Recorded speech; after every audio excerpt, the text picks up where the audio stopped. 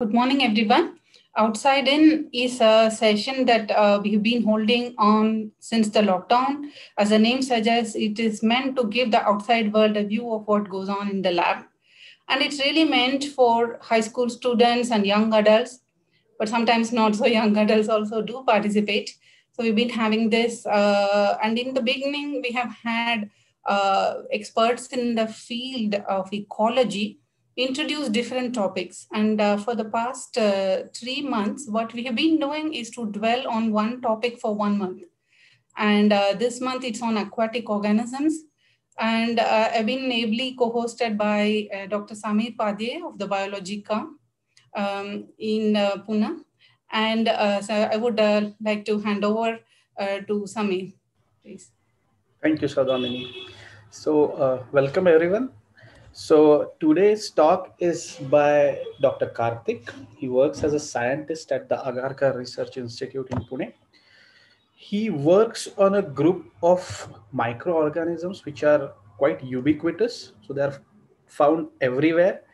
But surprisingly, not much scientific information is known about them. So he is an expert on identification and distribution of these animals.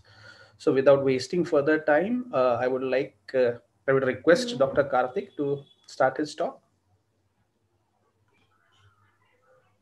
Uh, thanks, Amir. Thanks, Sowdhamini, and uh, uh, the Inside Out uh, team. I will start the talk.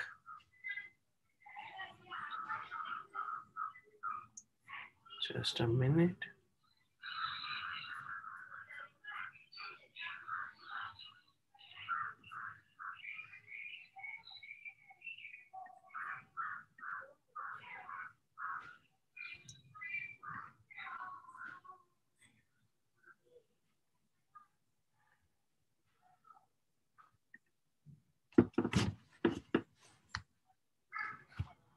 Okay.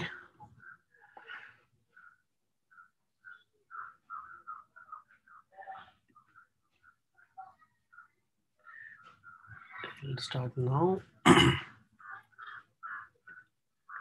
a very good morning to all. And uh, my name is uh, Karthick. I work as a scientist at Agharkar Research Institute in Pune.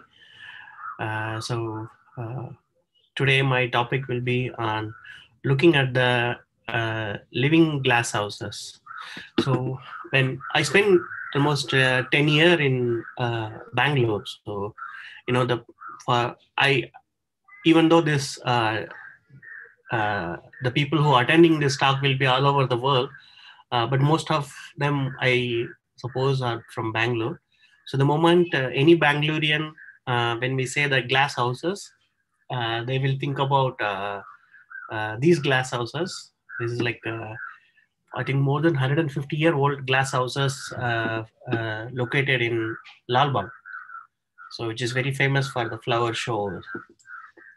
So, but uh, there is no life associated with the glass. So it's a it's a artif- it's a you know it's an artificial structure made with the glass.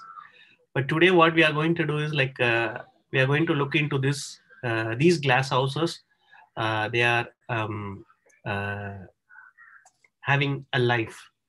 So this is what we are going to look at it. So when we when we go more in detail into these glass houses, we will, uh, uh, they are the, one of the most uh, beautiful sculptural structures.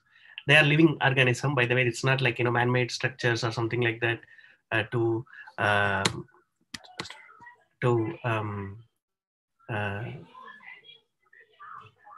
made up of uh, silica cell wall. So these are, these structures are called as like diatoms. So uh, if you see this slide, you will see this, uh, you know, uh, there is a life in the, the evidence for the life is this internal content where there it's having uh, chloroplast and other cell organelles, which are all, uh, so make them to do photosynthesis and uh, all other routine activities. these diatoms are, they are microscopic plant. So when you see a tree or um, uh, plant outside, they're also the same thing, but with a uh, they are microscopic in size. So uh, when we see the tree of life, where do we put uh, these diatoms in? Uh, they they come under the uh, group called algae. So we all uh, almost everybody see this algae. Though if we look at in a you know, river or a stream or a lake, we'll see this green color growth all over this place. It's uh, uh, nothing but algae. per se, algae is a uh, you know very um, huge uh, group with mm, with a lot of different characters. Just to mention one, um, in size they can be in the in few micron, even less than 10 micron, to 300 400 meters also. So you can uh, on your left side you are seeing a macroalgae seaweed, uh, which is um, uh, uh which can which is which can run under the ocean floor for 200 300 uh, meters on the other hand you are seeing a, a blue green algae which is uh, very small in size so in you know when we when you try to uh, see the where exactly the um, uh, diatom fit into the entire tree of life so here just pay attention to this uh, uh, green uh, round, which is like uh, all our land plants, like all trees, ferns, everything put together here. And this red circle is the animals. And then this yellow, you see, the, these are diatoms. So in this left uh, branch, we see this huge, you know, a, a sudden uh, a, a, branch with a lot of uh, things, which is like uh, uh different groups of algae. Basically, uh, there are different groups of algae here, uh, from diatoms, dinoflagellates, red algae, brown algae, everything are here. Um, so these are uh, just a minute. I'll just close my window. It's very lot of crows here. Just a minute.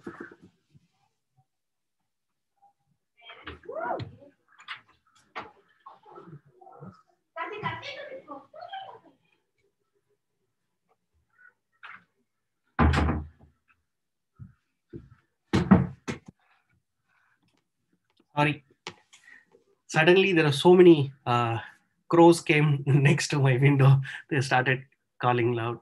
So, uh, when we see the number of taxa in each this group, each this algae, uh, each of these branching under algae, there are uh, we can find uh, uh, equal number. Like you know, each branch under this group have like literally tens and thousands of uh, species of algae are there.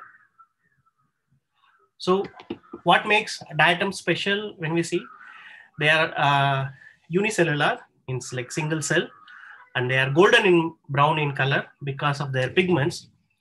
And their uh, skeleton is made with two walls. So on your right you see a, a, base and a lid which is nothing but it's like a soap box so you can uh, easy way to remember a structure of diatoms like soap box so you have a lid and you have a base and the soap is the cell content like that so uh, uh, they live uh, either singly, like here you are seeing a single cell.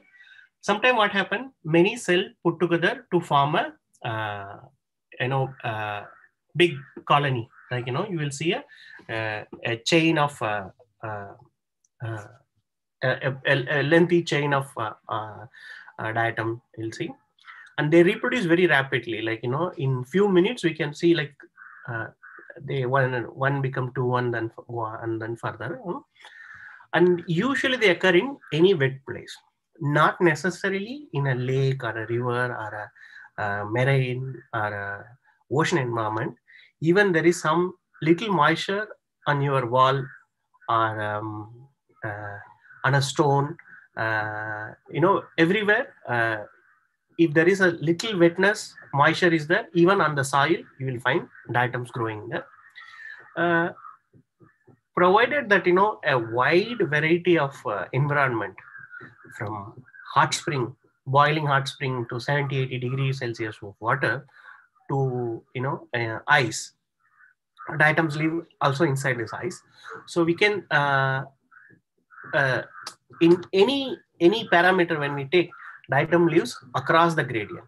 Uh, for example, if we keep like salt concentration as a gradient, we'll find diatom in the like you know marine heavy or even like a, um, saltwater uh, springs to you know pure water. But only thing is all these different a gradient of environment have a different set of species. That's what uh, makes diatom as an environmental specific and that's what make diatom as a very speciose, very rich in number of species. So you have a huge number of like literally tens of thousands of species are there in diatom. So uh, and they are since they are environmental specific by looking at diatom you can tell whether what kind of water it would have origin. This comes from a uh, clean water, this comes from a uh, polluted water, this comes from a hot spring, this comes from a ice, or it comes from a cold water spring. So we can easily tell that uh, by looking at the diatom.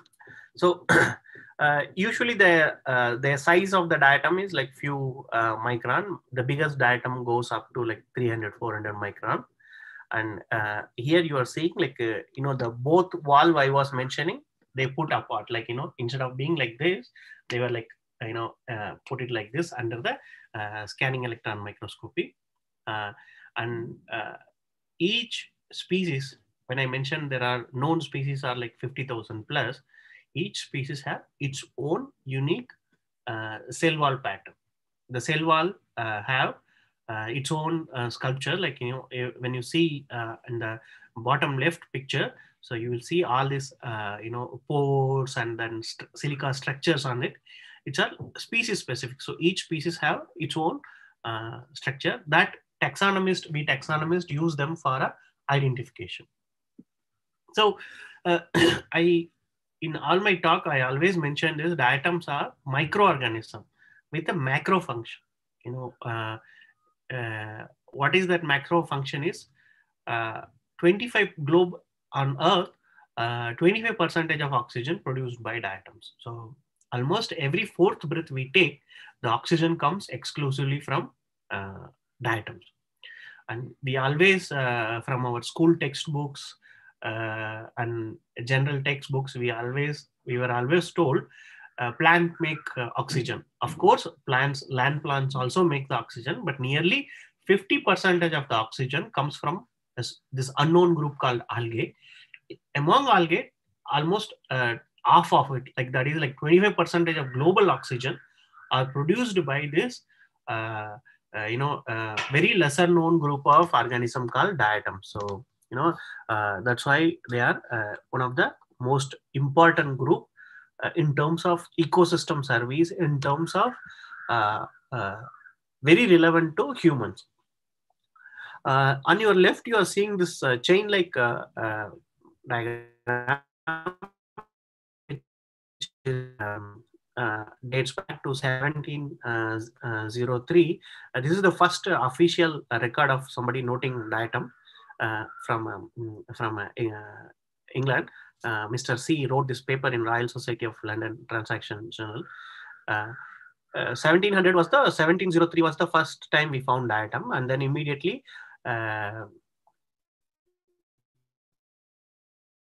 the this gentleman we are seeing on the right side, Ehrenberg, he's the first one to study diatom from India.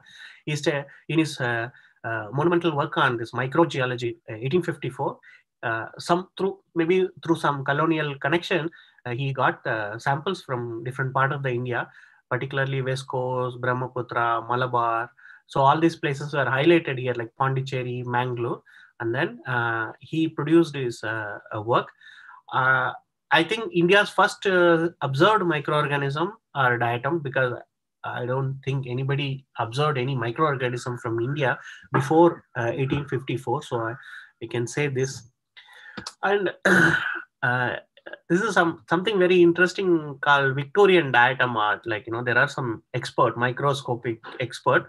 They will pick individual diatom and then they will arrange it, and then they make. So in in this uh, owl picture, whatever you are seeing, it's all individual diatom. They are all organized to make this pattern, and then on the right side, which is something equivalent to our rangoli. Uh, what you are seeing here. So it's all like, you know, individual diatoms were uh, arranged under the microscope by a, a, expert. So even nowadays also, these slides are available uh, for, we can buy that for like maybe a couple of thousands of pounds. Um, uh, so this is uh, interesting about diatom in common man's life. So coming back to diatom, we know more than 50,000 item as on today and the estimated is 2 million. Yes we, we have a lot of uh, work to do. As i mentioned they're like an extremely diverse group in terms of morphology in terms of environment and they have many valuable products from omega-3 fatty acid to biofuel etc we'll see those things at the end. So where to look for diatom how they look? They always are, uh, grow attached to a stone or a, or a plants or like to a moss or even uh, uh, as a um, in in between the sediment. When we see in in detail like you know you see the stones and there are some brown color growth on this uh, stone they are they are diatoms. And here also you can notice that this tadpoles uh, eating uh, these diatoms. And here you see this this aquatic plant roots are filled with diatoms. And here you see a, a dead wood inside a stream uh, covered with this brown diatom growth. And under the like you know bottom of the stream there is like you know uh, here you see this uh, brown growth uh, so we collect um, um, diatom using this pipette like uh, structure so if you pay attention to this uh, uh, brown color, like, you know, hair-like growth on the roots of this aquatic plants or the leaf. Excuse me. So they are all um, diatom. So when we pick uh, the sample from environment and we when we look under the microscope, they look like this. You know, they look like uh, there's a, uh, these are all individual diatoms uh, photographed and then arranged uh, in a software so that you know to see the uh, entire uh, morphological diversity in one particular group so but uh, if you notice here uh, we here we don't see any of those siliceous structures. So what we do when we get the samples so on your left and under the field collection category we see like you know different environment. We bring it to the lab. Basically we cook the diatom. So we take a beaker, put our sample, put hot nitric acid, uh, hydrochloric acid, and we boil them in the, in the hot plate. So basically what happened, all organic material get like get, you know, it's all get digested. Only inorganic parts remain. So diatoms are, as I mentioned before, diatoms are made up of silica and the silica cell wall are the, uh, each diatom have unique uh, cell wall pattern. So those cell wall patterns are used for identification. So whatever we are seeing on the left side, it was before uh, cleaning with the acid.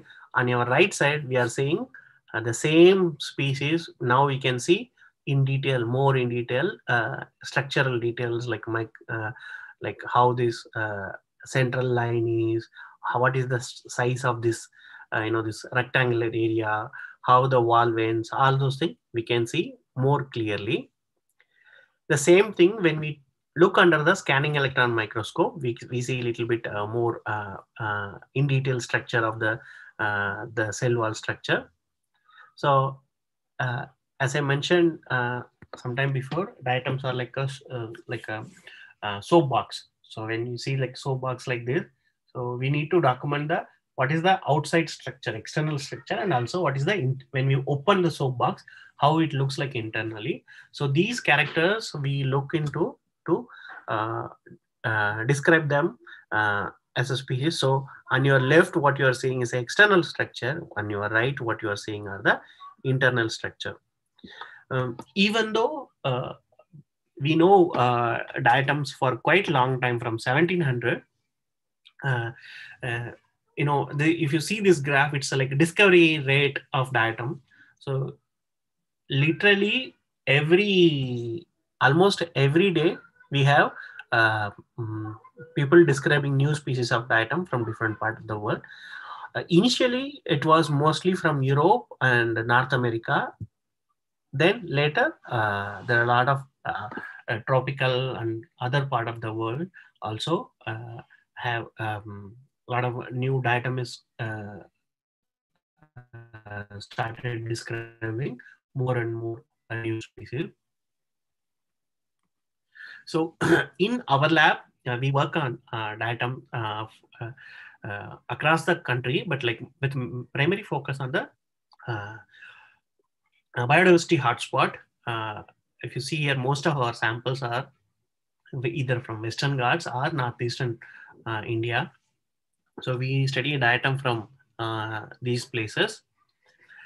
Uh, one one thing as i mentioned earlier like you know diatoms are um, uh, kind of uh, extreme uh, it's extremophilic organism. So it can range from you know sweet water to extremely salt water cold ice to hot uh, uh, hot water like that. Here we uh, i just want to say like you know in in maharashtra like 200 kilometer from pune we have a crater lake lonar crater. So this ph of the uh, the water of the crater is more than 9 which is like extremely alkaline on the other hand uh, in the Myristica swamps of uh, kerala we have al- uh, acidic uh, water it's like ph is less than 5 pH water is there. So we find atom from in case of uh, uh, alkaline water also, in case of acidic water also. The only thing is they are uh, restricted to uh, only to that environment. We might not find a alkaline um, diatom in acidic or, or other way around.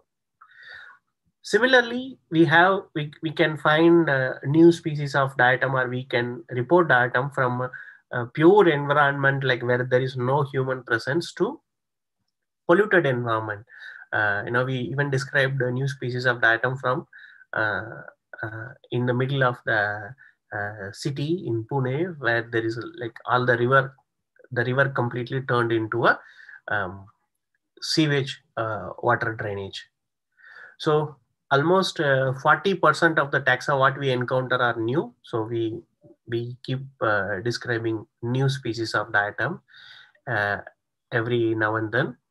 So uh, our lab have described more than 50 new species of diatoms and then two new genera till today. And we are uh, working on more than like another 200, 300 species will be coming in uh, coming days. This is a, a, a new genus Glaucovischia we described from the lateritic uh, rock pools of the Western Ghats apart from the uh, aquatic environment like we i was telling about rivers streams lake uh, we recently found out diatoms can also grow along the moss uh, on the tree particularly where there is no uh, hydraulic link uh, there is no uh, you know linkage between the stream or a lake to a tree moss so from these moss we found um, mm, many unique diatoms growing. Uh, uh, we call this as like aerophilic diatoms, like how acidophilic is acidic loving, alkalophilic is alkaline loving. We found this aerophilic diatom. So diatoms are used as a bioindicator. As I mentioned, uh, uh, diatoms can uh, grow from any any environment but they are restricted to that environment only. A group of species you find in alkaline water, they will find, you can find them only in alkaline water. So you don't find them elsewhere. So by looking at diatom, we can tell uh, whether it is a clean water or a polluted water, acidic water, alkaline water. So uh, uh, one uh, we use we take advantage of this uh, environmental indicator plus uh, silica cell wall to tell Earth's past history.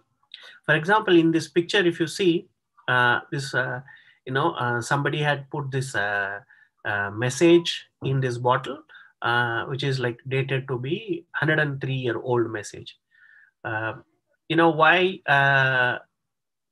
we could get this message even today is because it's uh, this it's written in a piece of paper and this paper is put in the bottle and then sealed. So bottle will never degrade. Like it will remain there for years together like thousands of years at least. Because it's made up of silica. Consider this message as the environmental information and this uh, message is put inside the diatom. The diatom is our uh, silica cell wall so what we do uh, we use uh, diatoms to infer the past environmental condition so how, for example, uh, we we studied this uh, uh, lake on uh, this uh, plateau lake. So imagine like this is today's picture. We have water and a certain environmental condition, and then we there are certain type of diatom living here. If you want to go back 200 years before, or 500 years before, or 1000 years before, or like 5000 years before we don't know what was the water quality condition what was the diatom living there. Since diatoms are made up of silica cell wall so this this the cell wall uh, the rim uh, the uh, the cell wall get preserved in the sediments. So what we did is like we went to this lake and we uh, dig a pit of 200 meter so in a lake when uh, you know the it get the sediment get accumulated one above the other. So we get the entire uh, uh, uh, section of the sediment which will tell about the diatom community living past.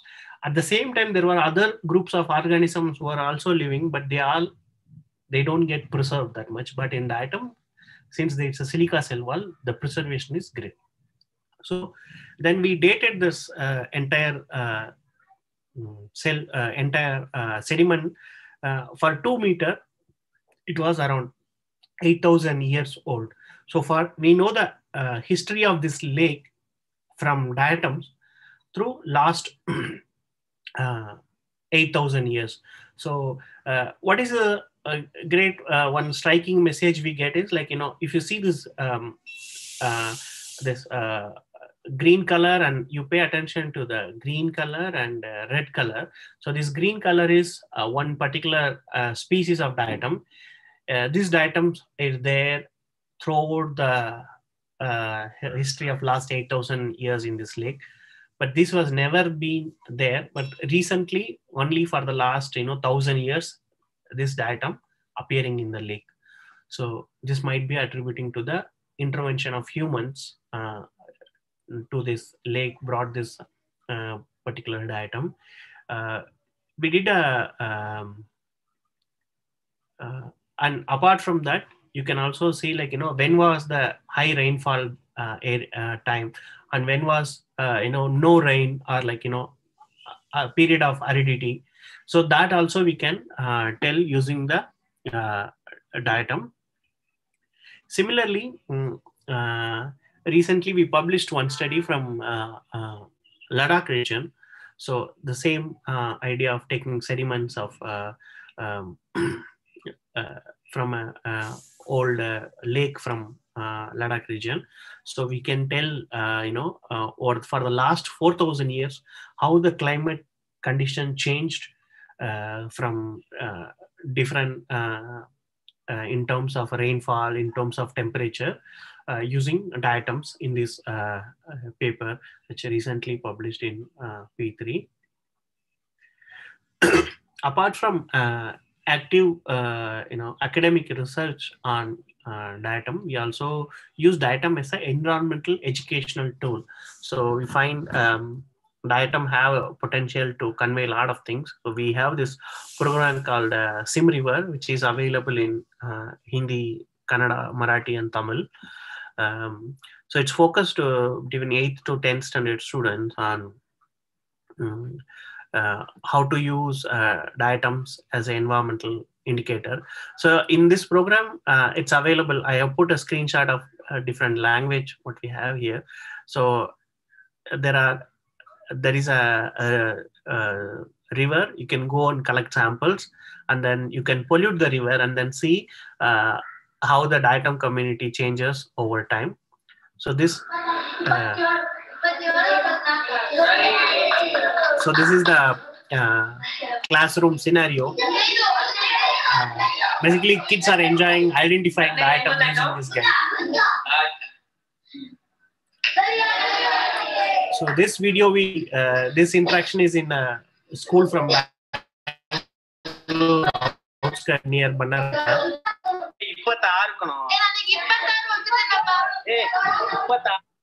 So uh, during this interaction with the school kids, we also do a uh, we give a, a, small survey form before this uh, using SimRiver and after using the SimRiver. So basically, uh, what we are trying to see is like what is the impact of uh, what is the uh, impact of this program in their thinking and things like that. So um, before this, so this yellow color means these words are used together and then red color means these words are used together green color and then red blue color. So before uh, they have more uh, general terms and when we see after they have more little bit more technical and terms related to uh, uh, cleaning and treatment awareness promotion sewage treatment plant. So these kind of words started appearing in uh, Uh, uh, survey. And uh, recently also we started using this uh, another wonderful tool called foldscope uh, which is uh, pocket friendly in terms of uh, money in terms of size. So you, you, can connect this with any of your cell phone and then you can take pictures. And these in some of our school program the students have drawn this different diagram using the foldscope. so, uh, what is the relevance of diatom to my everyday life? Uh, diatom are one of the potential biofuel uh, uh, producer. Like diatoms can make a lot of lipids, which is having a potential to be converted into biofuel, which is also implemented in uh, many uh, uh, countries. And there is another thing called diatomaceous earth, it is nothing but like you know these are like fossilized remains of diatom. So as i mentioned uh, these uh, diatom once they die they go unsettle because it's made up of silica cell wall. So it get accumulated over a period of time. And like you see the size of this diatomaceous earth by seeing the size of this truck. You can get idea like you know how deep this place might be. And when we um, uh, mine them they're like uh, you know powder. And when we look into the scanning electron microscope you will see these uh, fragments of diatom. So uh, in japan uh, this uh, what happened is this what you see this big like sedimentary it's like kind of sedimentary rock. So they will cut this rock into square and then make a barbecue station kind of thing. So you can use this and then uh, they are made up of uh, the the diatom diatomaceous earth are made up of small fragments of diatom. And these diatom fragments have minute pores. So these pores are used to uh, filter the beer uh, or any like any chemicals uh, from the factory. So even any uh, micro level dust or anything can be removed uh, from the those liquid And another one great contribution of uh, um, diatoms to the uh, global sciences, uh, a Nobel Prize. So you might be wondering like what, how these are connected. So the Nobel's um, uh, Nobel, uh, uh, he invented this um, dynamite so initially he tried to uh, do with uh, mixing nitroglycerin, which is like a liquid explosive, with many uh, solid like charcoal and things like that, nothing worked. Then he mixed it with the uh, diatomaceous earth. So then it become more stable, so, so they can transport from one place to another place. And then this brought uh, Nobel family a lot of money selling uh, dynamite and he want to give that money back to the society. So the nobel foundation was made with the uh, money which they earned uh, from mainly from selling uh, diatomaceous earth. So um, when i say whenever you find whenever every year when we announce nobel prize so uh, you have to remember that you know there is a there are these millions of diatoms behind this uh, nobel prize and apart from that like they also recently have uh, diatoms have a lot of uh, industrial like uh, biomedical applications like you know uh, they are used as a hemostatic agent for to control the blood uh, loss. And they are also used in uh, tissue engineering um, for developing bones and other things. And uh, most of us are aware of this um, uh, fish tab mm, fish oil tablet they call fish cod liver tablet. Actually fish don't produce the omega-3 fatty acid the diatom or the other algae they produce the omega-3 fatty acid. And the fish consume diatoms and they accumulate it and keep it. So uh, when you take a, a omega-3 fatty acid uh, uh, uh it comes from uh, diatom. So recently, uh, there are also vegan omega-3 fatty acids, which, which will not use the fish. From culturing diatom, you can extract the omega-3 fatty acids. So, and uh, uh finally, I want to tell about this, uh, uh, how diatoms are used in you know completely a different context, like there are these Neolithic potteries from the archaeological sites. You get this pot, and these pots are made up of clay, and the clay must be from a lake or a river sediment. So this that clay will have like diatom fragments. So by studying the diatoms in this Neolithic pottery, uh, the authors found like you know. Um, whether these pots are of locally made by them or like it was imported from somewhere and it's made from a freshwater source so all this uh, information they found. Excuse me. So um, again, uh, they found uh, it's used in archaeology uh, hmm, at multiple folds. So with this, I conclude my talk. Uh, I thank the uh, organizers of Outside in CDS and Bangalore Life Science Cluster and Sameer uh, and other organizers for inviting me. And uh, all these works were possible by funding from different agency and my my institute Agharkar research institute and my students. So i want to end this talk with a quote. If you can read thank your teacher. If you can breathe uh, thank the diatom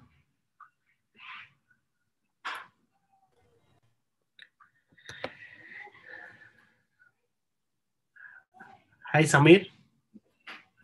Yeah. Thank you. Thank you, Karthick, for that very uh, informative lecture. So we have a few questions. Yes. So there is a question by Rahul.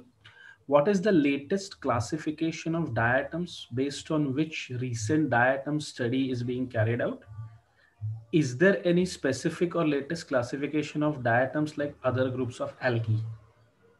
Okay, so um, uh,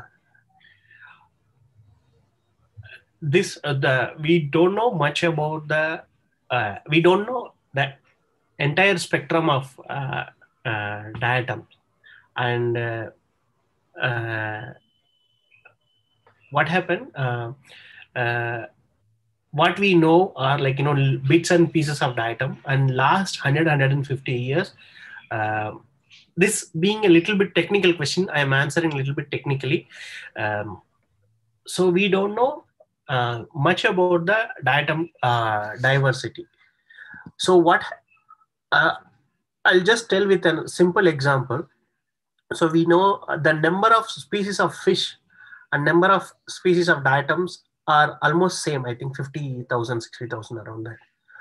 A number of genera in diatom are 1,200. A number of genera in fishes are like I think 12,000. so like you know we don't have uh, really a good understanding of what are the current number of groups under diatoms.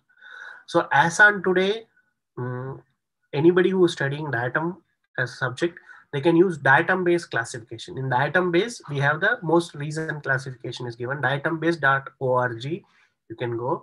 There you will see the diatom tree of life like you know what are the different group and each group.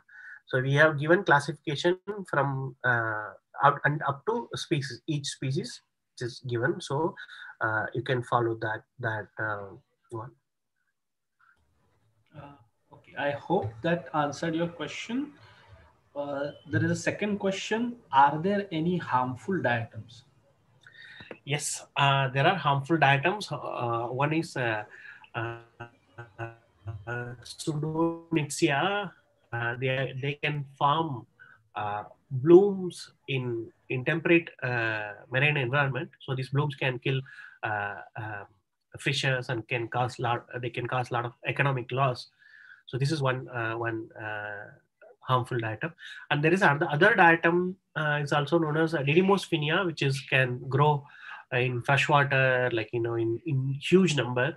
Uh, they can even clog the dam like even they can grow like anything it happened to in many places in new zealand so these are the two known uh, harmful diatom apart from that like you know in our normal drinking water also we have a lot of diatoms will be there. And it will not it's not pathogen or anything like that. Uh, there is one more question. How do diatoms colonize aerophytic, aerophytic habitats? So uh, uh, diatoms are uh, carried by wind. So and so they can uh, um, through wind they can uh, move from one uh, place to another place. So that could be the only source of uh, uh, aerophytic habitat diatom and the, the concept of aerophytic diatom itself got very re- it's very recent like maybe like some last five six years only people started looking into aerophytic diatom community. Okay. And the last question here is, are there any genetic modifications done in diatoms to exploit the secondary metabolites? Yeah, uh, uh, until recently we have, uh, I think six or seven species of diatom. We know the entire, uh, the whole genome and uh, people are trying to find out how they can be so efficient in producing so much oxygen and fixing so much carbon dioxide. And then uh, understanding their lipid production in general, lipid production, and then other metabolite. So uh, people are using. Uh, there are particularly two species like Thalassiosira pseudonana and uh, uh, Cyclotella um, another one, phaeodactylum tricornutum. So these two species are used as a lab guinea pig, and there are a lot of genetic work is happening these days. Okay. Uh, any more questions?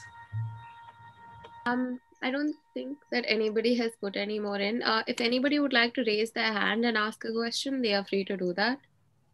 Um,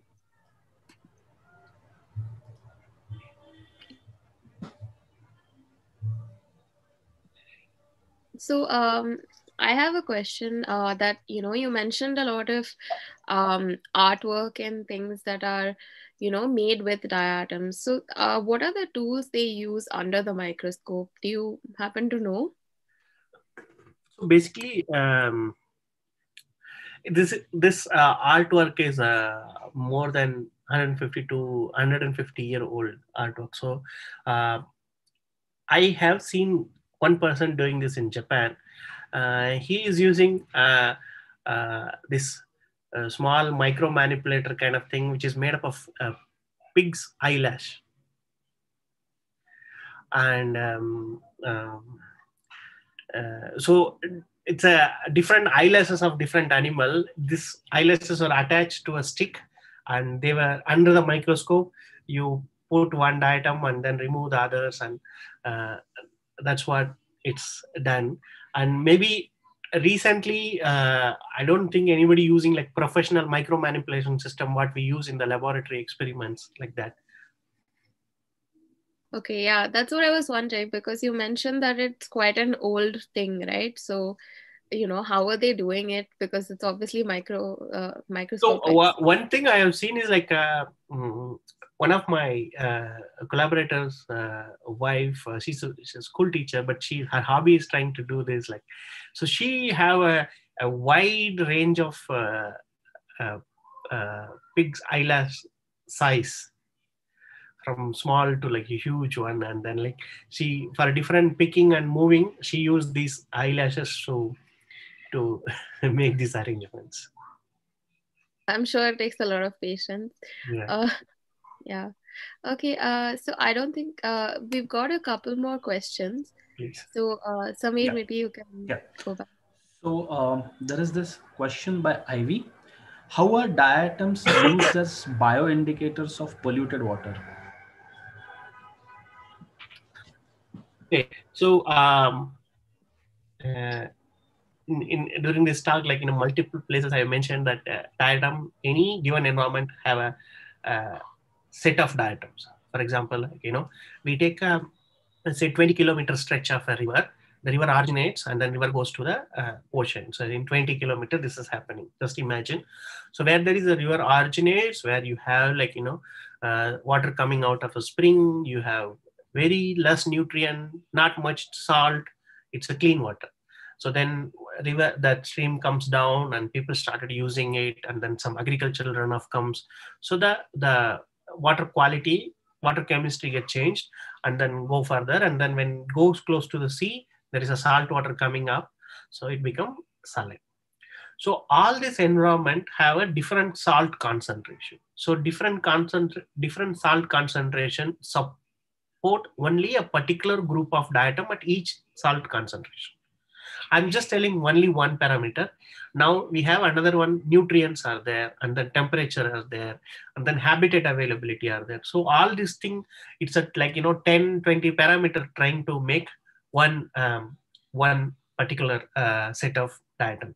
Uh, to put it in a very simple raw way, you know, when we look for a house to rent, we want to close to railway station and we want to have a shop we want to have a good neighborhood we want to have park for playing in the evening. So this is like all these things we consider and then check. So all these parameter determine a, like you know uh, one set of diatom community so at that place you will get like you know 20 30 species. And based on that we will use them as a water quality indicator of environment. And uh, uh, yeah so uh, that's it like Okay. And besides cell wall patterns, are there any other ways to identify different diatom species?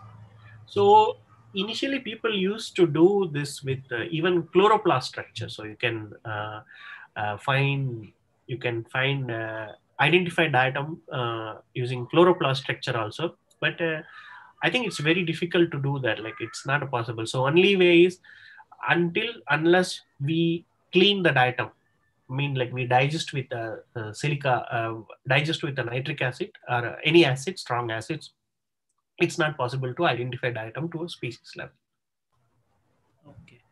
Are there any more questions from the attendees?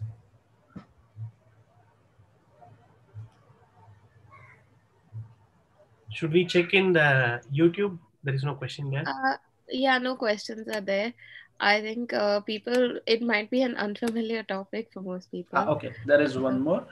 Uh, as for diatom taxonomy for proper identification, is size diminution a must?